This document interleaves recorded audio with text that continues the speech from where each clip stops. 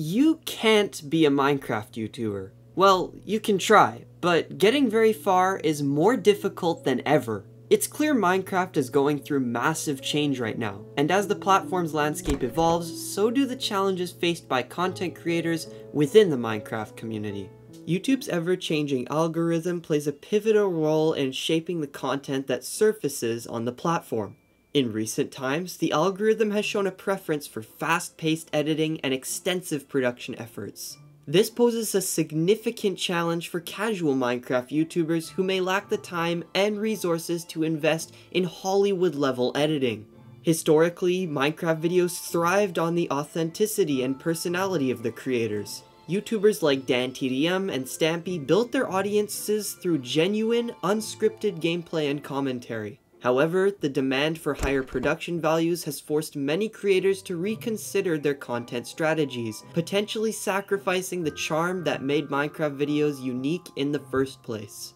Another factor contributing to the shift in Minecraft videos is the homogenization of content. With the platform flooded by a multitude of creators, standing out has become increasingly challenging. Thumbnails, titles, and even storylines often follow similar templates, making it difficult for viewers to distinguish one video from another. The lack of diversity in content style and format has led to a sense of deja vu for many Minecraft enthusiasts. What was once a vast landscape of creative and diverse videos has in part become a sea of similarity. The rise of short-form content, exemplified by YouTube Shorts, has had a profound impact on the attention span of Minecraft viewers. In the past, content creators could captivate audiences with longer, unedited gameplay sessions. However, the advent of short, snappy videos has altered viewer expectations, making it challenging for longer form content to maintain its audience interest. This shift in attention span dynamics poses a dilemma for content creators.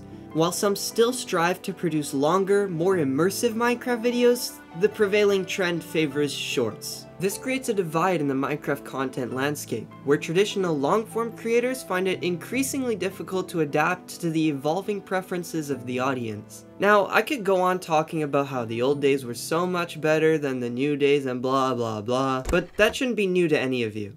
Instead, let's look at a modern example of two YouTubers who have a completely different approach to Minecraft content. On one side, you have the monopoly of Minecraft content.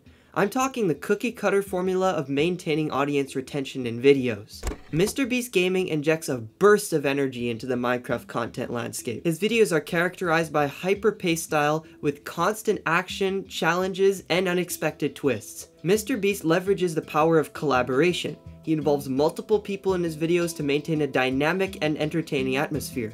The fast-paced nature of his videos keeps viewers engaged, with something new happening at every moment. By tapping into the modern viewer's desire for instant gratification and varied entertainment experiences, MrBeast creates videos that perfectly captivate the audience's retention, making it impossible for the viewers to click away.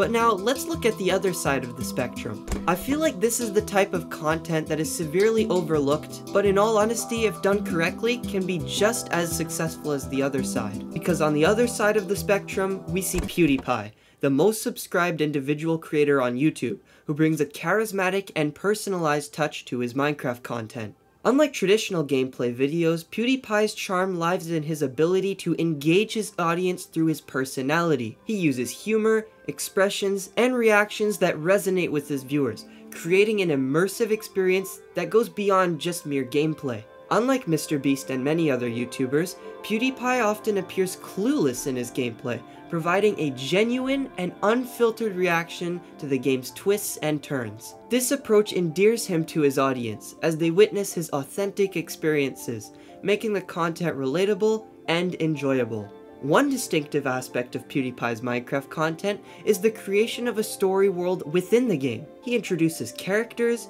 develops plot lines, and builds a narrative that extends beyond the typical Minecraft gameplay. Viewers are drawn into a captivating world where each episode unfolds as a chapter in an evolving story. This narrative element sets PewDiePie's Minecraft content apart, creating a unique blend of gaming and storytelling.